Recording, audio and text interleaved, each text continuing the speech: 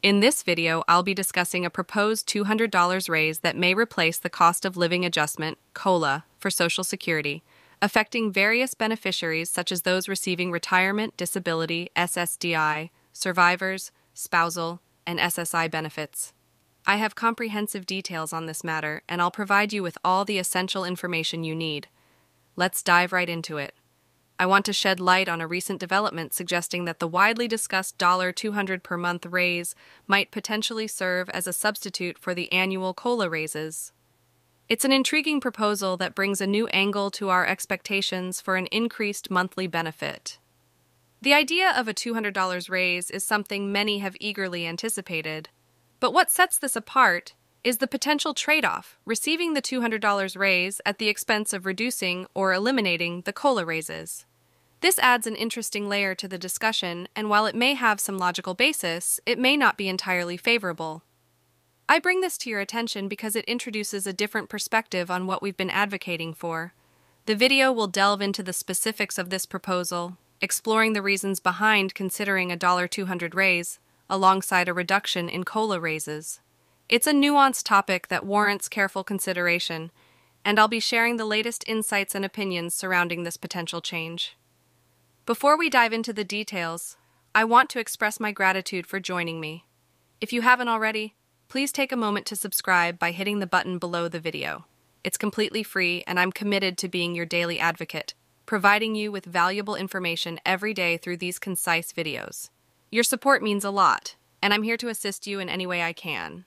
Feel free to leave a comment below, letting me know how I can serve you better. I'm eager to read your comments and provide the assistance you need. Now let's get back to our discussion. Don't forget to subscribe to stay updated on future videos. Now, on to the intriguing topic of the proposed $200 per month raise and its potential impact on replacing the cost of living adjustment, COLA. It's a thought provoking concept that may raise some skepticism. You know the saying, smelling a rat? Well, that sentiment might resonate here. Nevertheless, let's delve into the specifics. The $200 raise is still on the table, as outlined in the Social Security Expansion Act. But the twist lies in the possibility of foregoing the COLA in exchange for this monthly increase. At first glance, it might seem like a straightforward decision. Who wouldn't want an additional $200 without worrying about COLA fluctuations affecting other aspects like Medicare Part B premiums? However, the intricacy lies in the fact that recent COLAs have, on average, amounted to a $200 monthly raise for the typical Social Security beneficiary. It's a surprising revelation that might make us reconsider the trade off. I'll explain the details shortly, as it's crucial to understand the implications before forming a definitive opinion. Stay with me as we unravel the complexities of this proposal, weighing the potential benefits against the drawbacks. Your insights and comments are valuable in shaping this conversation, so please feel free to share your thoughts below. Let's continue our exploration of this matter. Thank you for your engagement, and let's proceed. Looking back at the last couple of years, specifically the last two, it's noteworthy that the average Social Security beneficiary has experienced an effective $200 per month raise. Now consider this hypothetical scenario.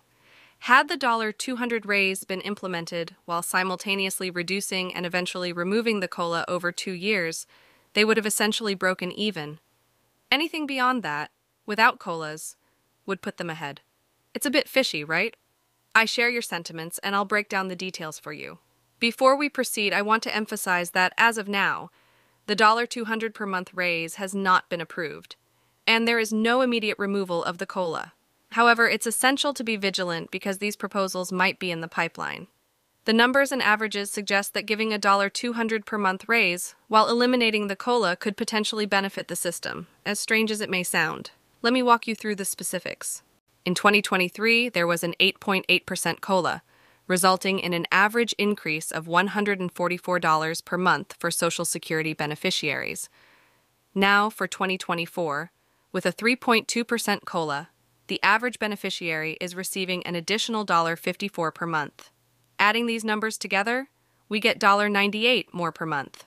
While it falls just $2 short of an even $200, it suggests that had the $200 raise been implemented around the end of 2022 or the beginning of 2023, they would essentially be at break even for the average beneficiary.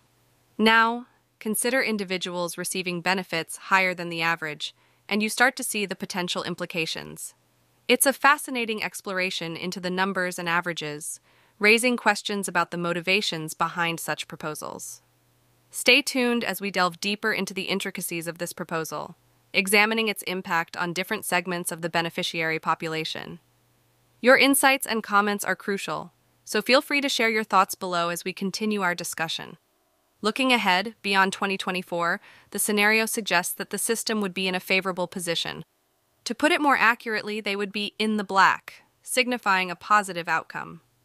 While the phrase in the green might be a common expression, in this context, in the black is more fitting. In simple terms, it would be smooth sailing for them if the COLA were no longer in effect.